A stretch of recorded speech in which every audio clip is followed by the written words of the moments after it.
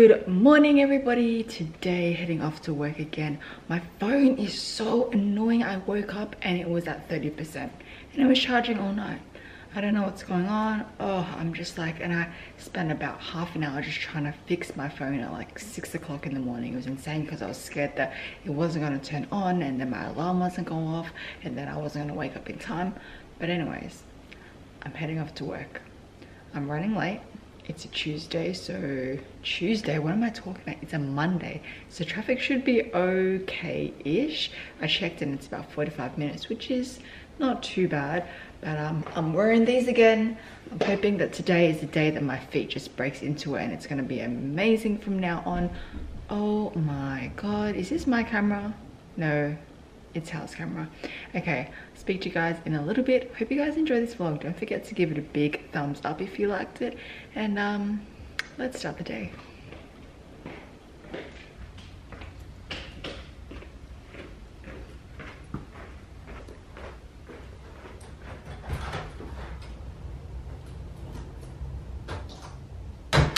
Okay, awkward thing just happened. I was trying to do some cool little shots with the camera but I forgot my keys and now I'm locked out of the house and I can't open my car. So I need to go out right now. Babe, can you please open the door? My keys are inside and I'm locked out of the house.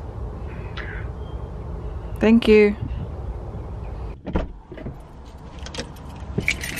Got the keys. Time to head off. That probably wasted about 10 minutes. So it is now 9.20. I said it was 45 minutes to get to work. I don't know if I'm gonna make it, but um, I'm gonna try. I have to because I'm the only one that's there today, so I've gotta get there. Enough chit-chatting. Bye guys!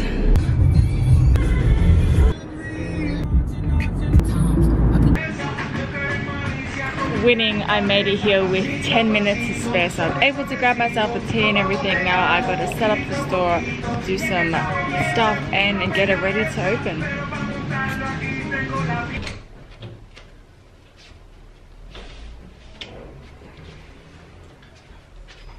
Good afternoon guys, 2.30. Let's start my day. And I'll explain to you what I do in the morning. Because you're gonna be like, what the hell? You just wake up at 2.30 every single day. I don't, trust me.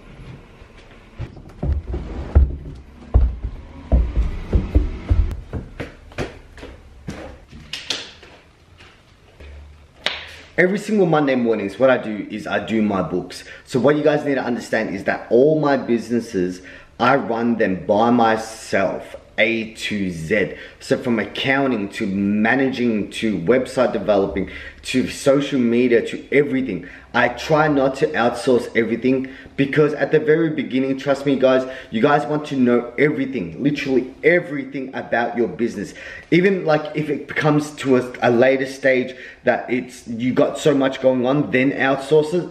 But the good thing is when you do outsource it, you're not blind. You actually do understand what is going on, what you need, what you just understand the business. You understand it as a whole, which is the best thing, best thing about it. And saying that, that's what I do on Monday mornings. I run through all my accounts. I do even just like the DJing stuff. I, I send invoices.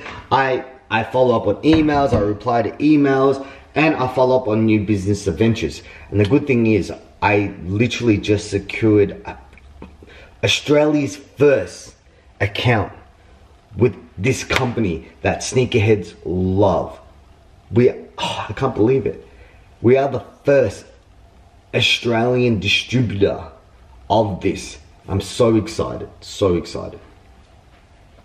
It's gonna be crazy. I'm really looking forward to stocking this brand.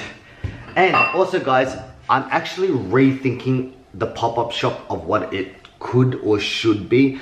I'm not sure if I just want to do a pop-up shop that just does Bape and Supreme and like hypebeast stuff because the investment for that and then the outcome plus time plus whatever, it, it's actually not calculating. Like, I want to hear from you guys. What do you guys want to see from a pop-up store from me?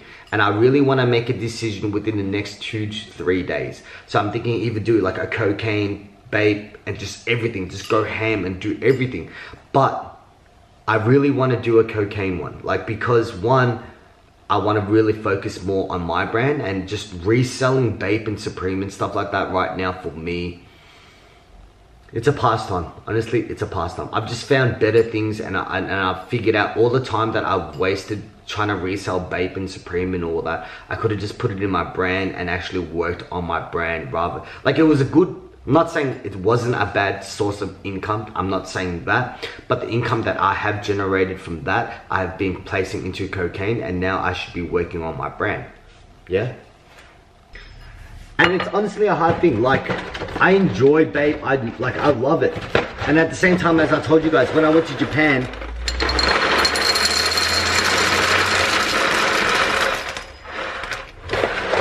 I feel like I killed the brand for myself. I don't know, is this enough cereal? What the hell? I'm eating cereal at 2.30 in the afternoon. What the fuck?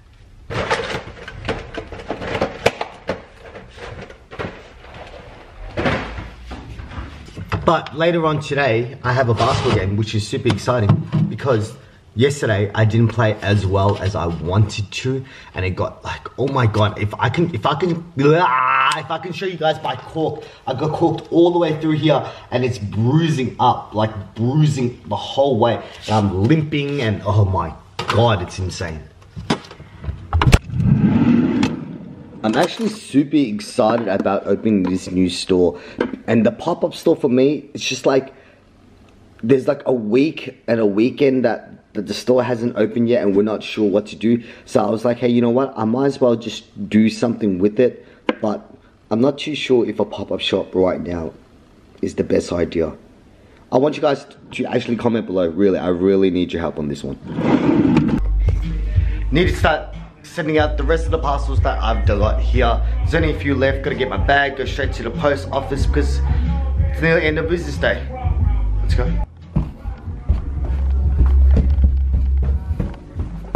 Need to get my bag. Oh. My thigh is killing me right now. Oh.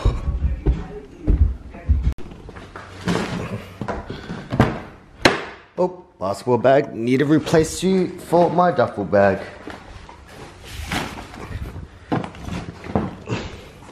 There you go, buddy. I'm gonna be pretty sure about it, but the next time you see me come into this car, I'm gonna be complaining about how much postage is. Because everything I'm sending right now is going overseas. And I'm sure I'm gonna be like, oh my god. And this is the same face that I'm gonna be doing. Guess what time it is? It's time for me to complain about shipping. Yeah, there it is. Singapore, just for one jumper, 37.65. The USA, one jumper, $41. Another USA, $41. Total, $171. And look, all right, United Kingdom, here we go. UK, $50 there goes that's literally all my profit gone just on shipping. So i actually lose money on most of these. But you know what what can i possibly do? Seriously guys someone tell me what can i do? Like i spoke to philly about this and i want to speak to you guys about it and actually get your honest opinion. Do i jack the prices up on my jumper and make shipping the same because i'm always going to get international people buying my stuff but then it's unfair for the people who are local like I don't know what to do. Like, I've honestly broken down the costs and, and how much I get, I actually profit for these jumpers. And you guys know it's like five to ten dollars. It's, it's nothing. It actually hurts. Like it actually like, it, it bothers me. It like I don't like it. Don't don't be discouraged not to to buy things on my website. I'll still pay for it no matter what. But I just feel like, how is this possible?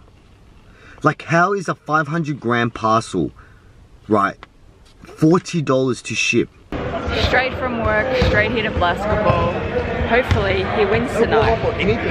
No warm up. It's freezing. I feel like everyone's going to be saying this right here because Melbourne is so cold and obviously it is winter. I don't know if I told you either. Tomorrow we might, might, might be going to the snow, so that's going to be exciting.